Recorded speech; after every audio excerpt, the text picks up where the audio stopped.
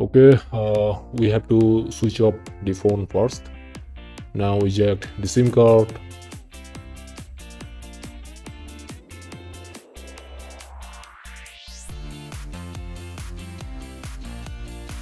Now turn on the phone again and go to the dial pad and dial star hash 06 hash. Okay so IMEI number will appear here. Note that down or remember the IMEI number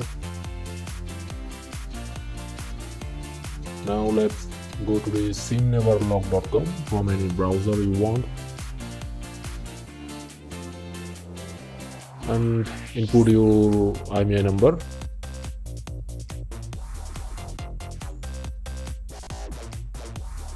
And email address.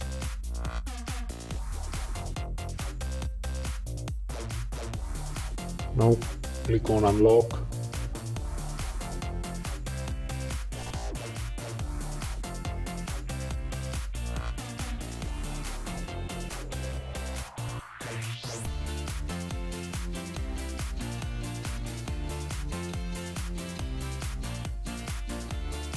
verify that captcha we have to complete one of these survey let's click on one.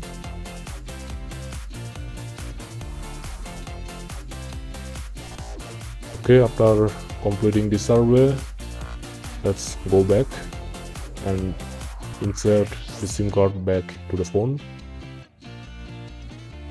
Let's check uh, if it works or not okay it works uh, here my sim card got active again